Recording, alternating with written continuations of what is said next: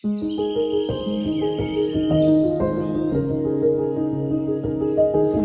an amazing day!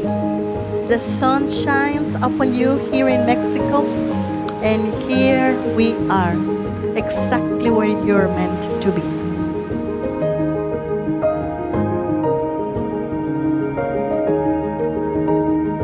Having been married for 33 years, I think I'm able to offer a little bit of something.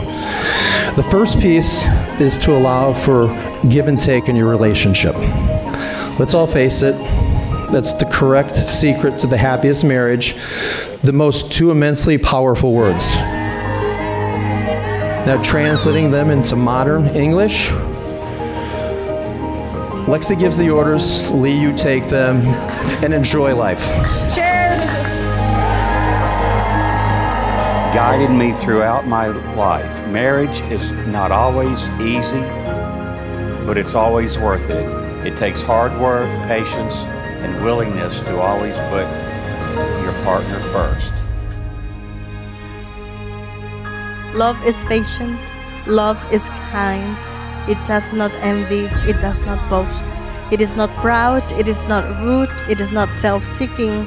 It is not easily angered and it keeps no record of wrongs.